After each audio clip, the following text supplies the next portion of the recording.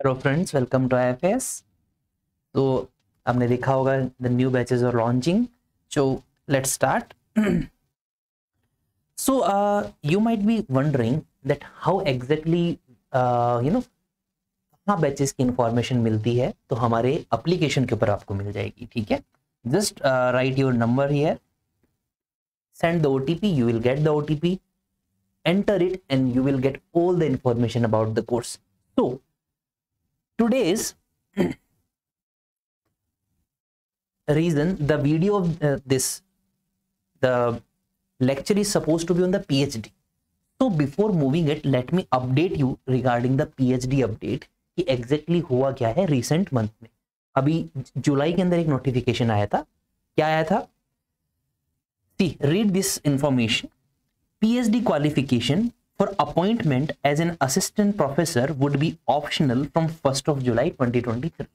It means if uh, the university is conducting an examination or anything, if you want the direct recruitment of an assistant professor in you know higher institutions, so you won't be required PhD for the for entering for pursuing the assistant professor job Second news was net set and SLET shall be the minimum criteria for direct recruitment to the post of assistant professor for all higher education institutions.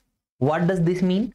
This means that now the minimum criteria is net that you have to clear the net uh, for the direct recruitment to the post of assistant professor.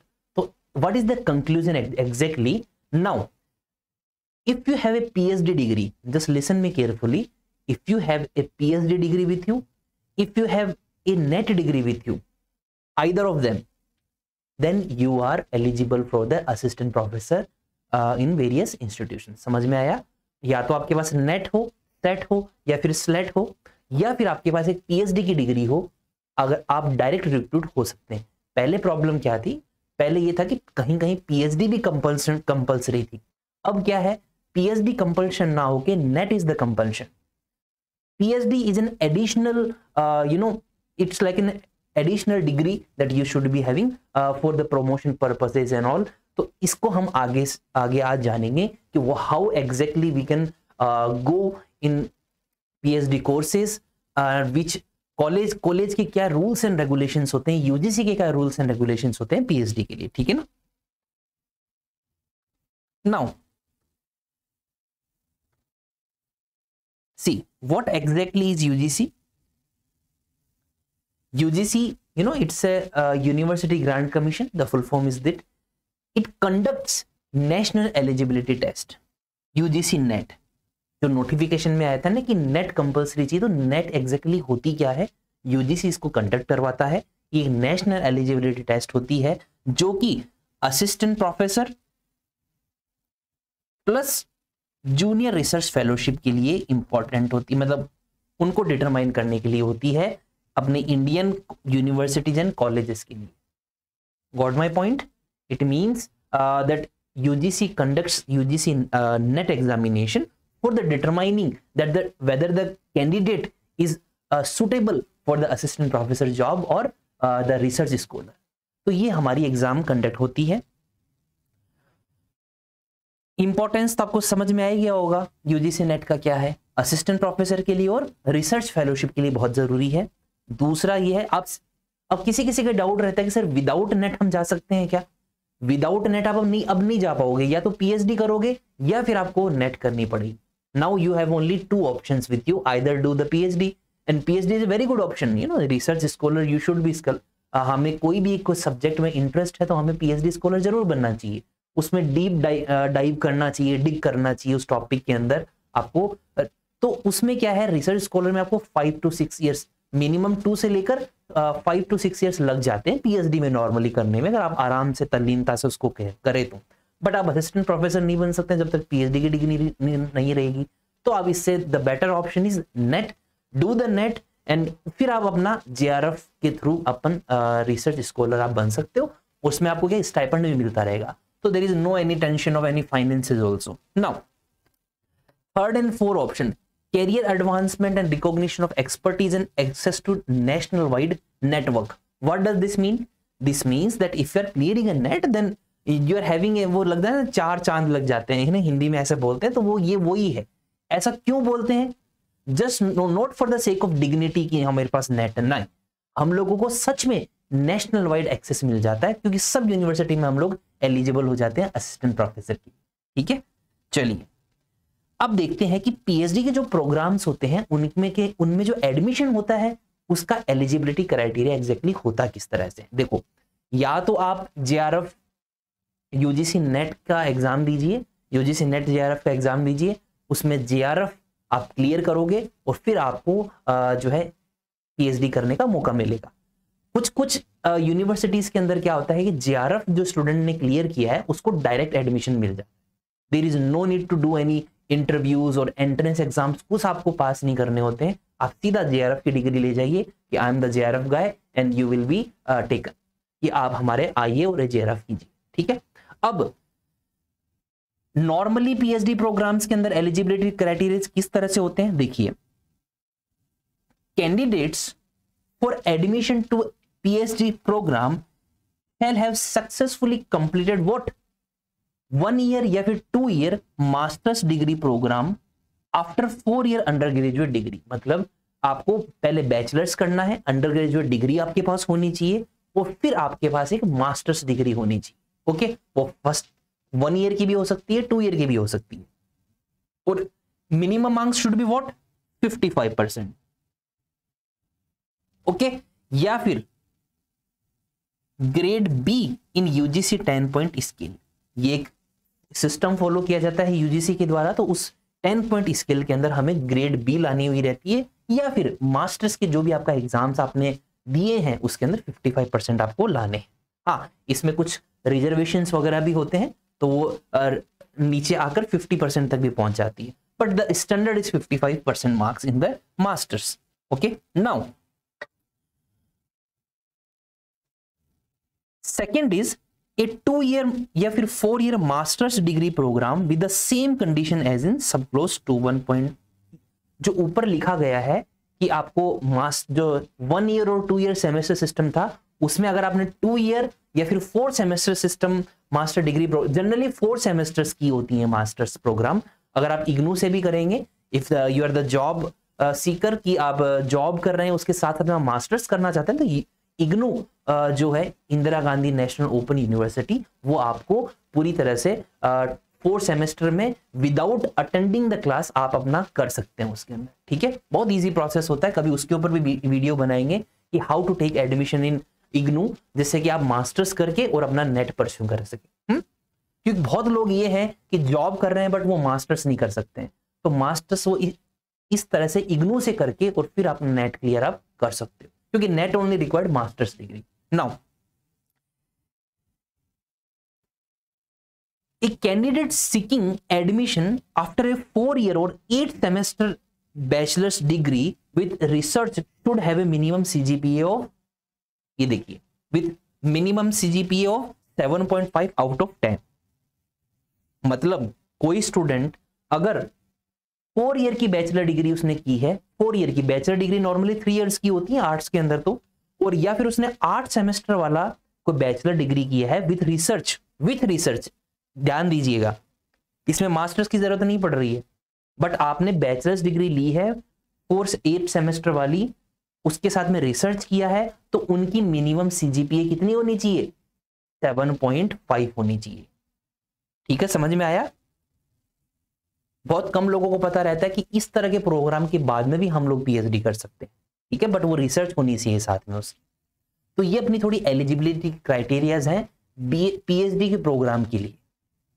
These are the standard फिर बाद में यह है कि candidates the M Phil course with at least fifty five percent marks और equivalent grade B in the ten point scale ठीक है? तो वो भी क्या है? एलिजिबल होते हैं मास्टर्स डिग्री के लिए। एम फिल जो किए हुए रहते हैं उनके लिए है ये। और a person whose M phil dissertation has been evaluated and recommended for award of degree may be admitted to the P H D programme in any institution on a provisional basis even before the viva voce or viva voice or final defence ये देखिए, आराम से पढ़िए। मतलब ये M वालों के लिए है एम के जो कैंडिडेट्स हैं उनके लिए है कि आप जो जिसने एम किया है और वो अवार्ड ऑफ़ डिग्री के लिए रिकमेंड किया गया है अपने इंस्टीट्यूट के द्वारा तो उनको पीएचडी प्रोग्राम के अंदर एडमिशन मिल सकता है even before the final defence अगर उनका वो एम फिल के अंदर जो फाइनल डिफेंस होता है, अगर वो भी वो नहीं कर रहे हैं, उससे पहले वो पीएचडी के अंदर रिक्रूट एडमिशन उनको मिल सकता है। तो ये एम वालों के लिए जानकारी है। उसके बाद में मतलब ये स्टैंडर्ड ड्यूरेशन है। अलग अलग इंस्टीट्यूट का अलग अलग ड्यूरेशन होता है। बट स्टैंडर्ड ड्यूरेशन क्या है? PhD programme shall be for a minimum duration of two years excluding course work and maximum of six years तो कितना है? टू टू सिक्स इयर्स समझ में आया? दो से छह साल के बीच में एक पीएचडी का प्रोग्राम चलता है। बट देखिए, बहुत इंपॉर्टेंट है excluding course work course work जो होता है वो अपना इस पीएचडी के ड्यूरेशन में काउंट नहीं होता है। अंडरस्टूड तो ये बहुत इंपॉर्टेंट बात है क्योंकि आप सब लोग यूजीसी नेट जेआरएफ की तैयारी कर रहे हो तो आप कल जेआरएफ अगर क्लियर हो गया तो उसके बाद का ये किस तरह से प्रोसेस होगा, ये होता है। Extension beyond the above limits will be governed by the relevant clauses as stipulated in state or ordinance of the individual institution concerned but not beyond more than two years बहुत important है। कोई कोई student बोलता है कि sir मेरी तो आ, मैंने देखा है कि किसी किसी की पीएचडी सिक्स से सिक्स ईयर से भी ऊपर चल रही है। तो वो इसलिए चलती है क्योंकि वो जो इंस्टीट्यूशन है उन्होंने अपने प्रोविज़न के अंदर इसको लगा रखा है बट वो भी कितना है? दो साल से ज़्यादा नहीं कर सकती है। तो मैक्स कितना हो गया फिर अब? Eight years max is what eight years is the for the PhD programme वो भी क्या है?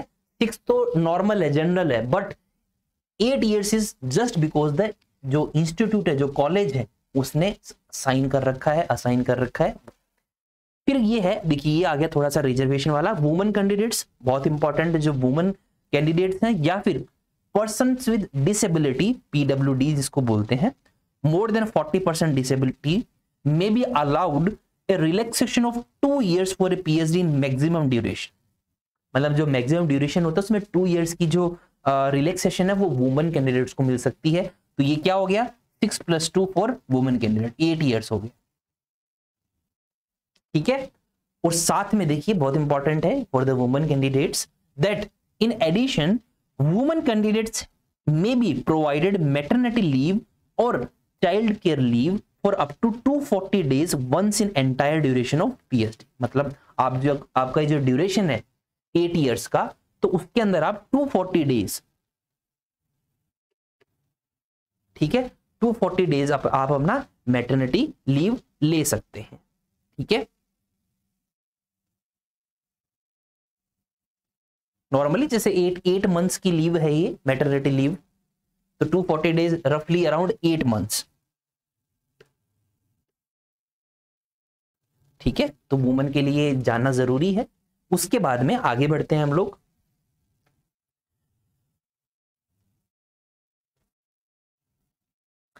For student exchanges provided that they contribute significantly to the completion of thesis leave of absence may be granted from the second year onward on the following basis मतलब student को leave चाहिए तो उसका जो फ़र्स्ट ईयर का जो performance होता है कंट्रीब्यूट सिग्निफिकेंट होना चाहिए, वो अपना जो, आपका जो गाइड होता है, वो कर सकता है काम, कि वो उसका जो सेकेंड ईयर से उसकी लीव ऑफ़ अब्सेंस कि मैं अब्सेंट क्यों हूँ? मतलब अब्सेंस अगर उसको अब्सेंट लेना है, कुछ कुछ भी, किन्हीं भी कारणों की वजह से तो वो इन इन बेसिस के ऊपर ले सकता है। ठीक है? रिसर्च मिशन के लिए रिसर्च एक्सपेडिशन के लिए, या फिर एक्सचेंज प्रोग्राम्स के लिए। ओके इन इन सब चीज़ों से इन सब चीज़ों के लिए वो अपना लीव ले सकता है। अब एक अपडेट आया अभी रिसेंट में, अभी 30 जुलाई 30 जुलाई 2023 को सुप्रीम कोर्ट ने एक कोटेशन दिया है। If PhD degree is not done without teaching work sorry, if the phd degree is not done with teaching work without taking leave it will not counted as teaching period इसका मतलब क्या है? बताइए। अगर PhD degree is not done with teaching work teaching work के साथ में PhD degree अगर नहीं की गई है और विदाउट टेकिंग लीव लीव लेना ज़रूरी है मतलब क्या होता है कि अभी तक ये था कि मान लो आप जहाँ जहाँ पीएचडी कर रहे हो, अगर आप वहाँ पढ़ा भी रहे हो तो वो दोनों आपका आपके वर्क एक्सपीरियंस में काउंट होगा। टीचिंग पीरियड में काउंट होगा वो। आप टीचिंग भी कर रहे हो और पीएचडी भी कर रहे हो। अब सुप्रीम कोर्ट ने यह कहा है कि आपको अपनी पीएचडी अगर आप कर रहे हो तो आपको उस टीचिंग पीरियड से आपको जो है, लीव लेनी होगी। लॉस ऑफ़ पे। आप समझ रहे हो एक तरह से कि आप दोनों काम एक साथ नहीं कर सकते। कि आप टीचिंग भी कर रहे हैं, पीएचडी भी कर रही हैं, ऐसा नहीं होगा। आपको टीचिंग से लीव लेनी पड़ेगी। आप मतलब आपको पे नहीं होगा। वो आपका टीचिंग पीरियड में काउंट नहीं होगा। ठीक है? अभी तक यह था कि टू इन वन काम चल रहा था, अब सुप्रीम कोर्ट ने इसको डिनाई कर दिया, ओके? और ये एक केरल हाईकोर्ट की वजह, एक केरल हाईकोर्ट में केस आया था, उसमें उसका एक फॉलोअप लिया गया सुप्रीम कोर्ट के द्वारा, और ये कहा गया कि हाँ केरल हाईकोर्ट ने ये गलत किया कि उनको दोनों को अलाउ कर दिया मतलब पीएचडी भी पीएचडी भी चल रही है टीचिंग भी चल रही है, ओके? और वो वहाँ पर प्रेजेंट है तो टीचिंग का भी उसको वो मिल रहा था, कि हाँ टीचिंग एक्सपीरियंस भी हो रहा है नो ऐसा नहीं होगा। एक ही काम एक बार में हो। ओके तो ये एक इंपॉर्टेंट पीस ऑफ़ इंफॉर्मेशन है। उसके बाद में कुछ अपडेट्स हैं, जैसे एडमिशन का प्रोसीजर क्या होता है? एडमिशन का प्रोसीजर तो समझ में आ गया था अपन को हाँ ये तो अपन ने पढ़ लिया। के बाद में हाँ एक ये भी बहुत पीएचडी से रिलेटेड एक न्यूज़ आई थी कि जो पीएचडी के जो गाइड्स होते हैं ना, उनकी भी एक लिमिट होती है कि कितने एज के वो हो सकते हैं। जैसे कि एक रूल्स यूजीसी के द्वारा है, ये देखिए। द गाइडलाइंस स्टेट दैट जो पीएचडी पीएचडी के लिए पीएचडी के जो गाइड्स होते हैं, कल को आप भी एक पीएचडी होल्डर हो जाते हो, उसके बाद में अगर आप भी गाइड बनना चाहते हो कि आपके अंडर लोग काम करें पीएचडी करें आपके जैसे सानिध्य में जिसको बोलते हैं, अपने आपके अंडर तो उनका जो एज है the guideline state what state that guides nearing their retirement age of 65 years can not opt ये एग्जैक्ट में लिख के इसलिए लाया हूँ कि आई डोंट वांट टू इसमें कोई काट काट नहीं करनी है। एग्जैक्टली जो यूजीसी की गाइडलाइंस है वही वही की वही है। ठीक है? Age of 65 years can not opt to guide new researchers मतलब 65 इयर्स से के या फिर 65 से ऊपर के जो गाइड्स uh, हैं वो न्यू रिसर्चर्स को ऑप्ट नहीं कर सकते। ठीक है? तो कब तक कर सकते हैं? 62 two years remember it 62 years के जो गाइड्स हैं, वो ही नए रिसर्चर्स को ऑप्ट कर सकते हैं पीएचडी स्कॉलर्स को। जैसे मैं एग्जांपल बताऊँ कि आप पीएचडी कर रहे हो तो आपकी अगर गाइड की एज 62 इयर्स है तो वो आपको जो है गाइड कर सकता है। 65 ईयर अगर वो 62 से 65 तक है तो वो नहीं कर सकता ठीक है? क्योंकि वो 65 जो है वो रिटायरमेंट की एज के एकदम पास आ जाता है, और फिर अगर वो रिटायर हो जाएगा तो आप सोचिए फिर बाद में किस तरह से आप पीएचडी कर पाएँगे।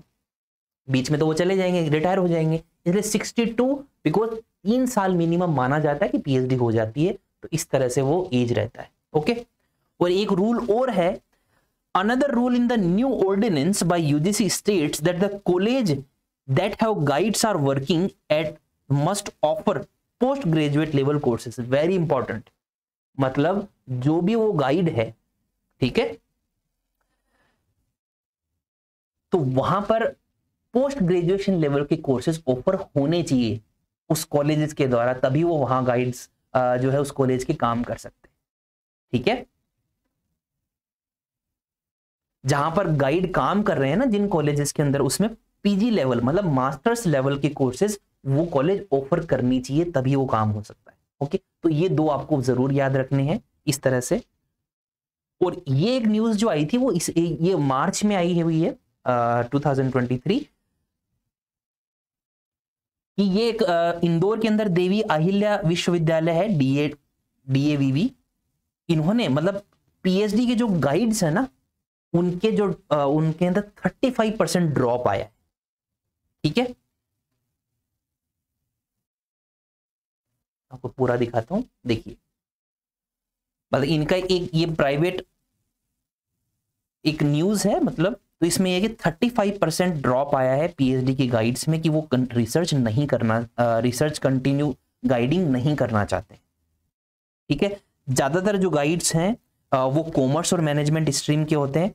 अब नॉर्मली क्या कि इसके लिए ये कहा गया कि ये जो गाइडलाइंस है ना, ये जो गाइडलाइंस है these are responsible for this drop कि 62 से ऊपर वाले हैं, वो कर नहीं सकते, इसलिए इसमें ड्रॉप आ गया, वो कंटिन्यू नहीं कर सकते हैं। ये कॉलेज के द्वारा बताया गया। तो ये कुछ पीएचडी के बारे में आपके लिए जानकारी थी और यूजीसी क्या होता है है ना? मतलब क्या इसका एग्ज़ाम पैटर्न आता है क्या इसके पर्क्स होते हैं what you can do after the after the UGC NET examination इन सारी वीडियोस के लिए आप uh, जो है इस चैनल यूजीसी नेट चैनल है इसको आप चेक कर चेकआउट करती रहिए। हमने सारा बताया कि यूजीसी नेट क्या है जेआरएफ क्या होता है जेआरएफ के पर्क्स क्या हैं। आप क्या, किस तरह से जेआरएफ को क्लियर कर सकते हैं, सारी इंफॉर्मेशन हमारे आप चैनल पर आपको मिल जाती है।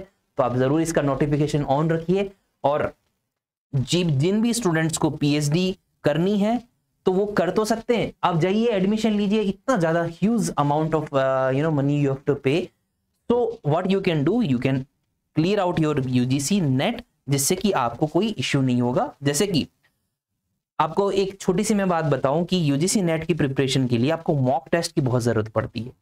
अगर आप मॉक टेस्ट कर लेंगे ढंग से प्रीवियस ईयर क्वेश्चन पेपर कर लेंगे तो आप आराम से अपना नेट क्लियर कर पाएँगे। तो हमारे जो आईएफएस ऑनलाइन जो साइट है, उस पर आप, उस पर आपको मॉक टेस्ट मिल जाएँगे। जिस भी एग्जामिनेशन की आप प्रिपरेशन कर रहे हैं specially the UGC NET obviously तो उनके पेपर वन जो सबके लिए कॉमन होता है वो पेपर टू जो भी आपका रिलेवेंट सब्जेक्ट है economics management English literature computer science philosophy history कुछ भी हो तो उनके मॉक टेस्ट जो है, वो लाइव वहाँ पर अवेलेबल है ओके